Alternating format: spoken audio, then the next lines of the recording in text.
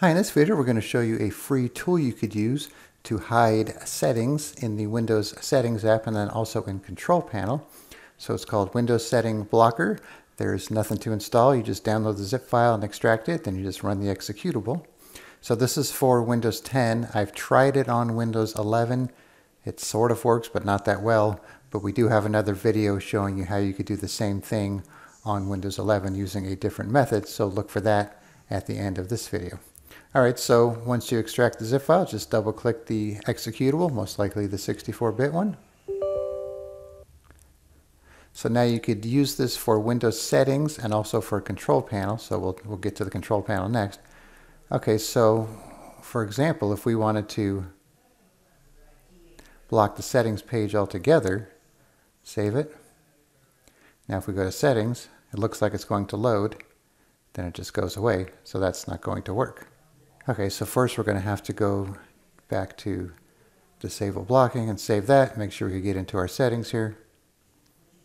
Okay, so if we go to system, we have display right there. So we're going to go now to hide pages. And we're going to find display in the list. Uh, some of these are not super obvious, you know, because there'll be sub menus of the main categories. So here's display. Add to list. Close. Save. Now we'll go back to settings here to system and you can see display is missing from the list there. All right, let's try another one here.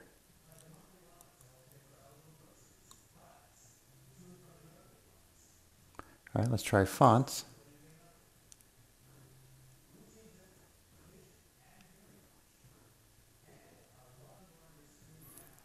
Okay, so if you don't know where the setting is, you could do a search for fonts and you can see nothing happens there.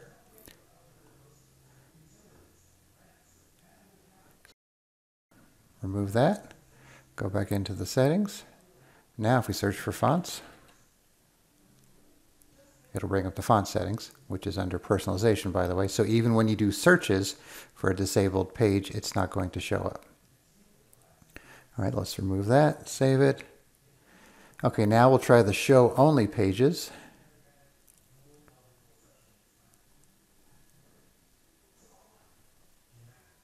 And let's use display again for our option. Add to list. Save it. So now we go to the settings. You can see we click on that and all we have is display. Not even the other options under system, even though it shows right there. So that's another option you could use if you just want to display uh, one or more settings. Or one or more pages, I should say. All right, let's remove that, save it. Okay, so we blocked the setting page. Uh, we hid some pages. We did the show only pages, and then of course disable blocking will enable everything. Okay, so now let's try it for control panel. So you go to the settings, control panel options. So we have the same thing here. So if we click on control panel, we have our options there. We could block control panel. So that way they can't open it at all. So now we'll disable it, make sure it works. Okay. All right, so now let's hide some pages here. Well, let's open control panel. Let's pick one first. Let's say we don't want anybody to use the uh, backup and restore.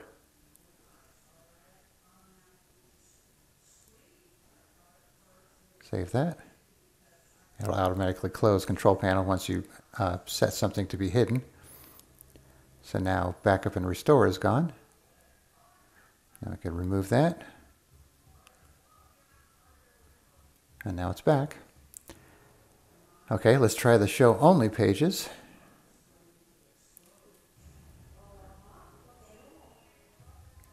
Let's say we only want them to see fonts.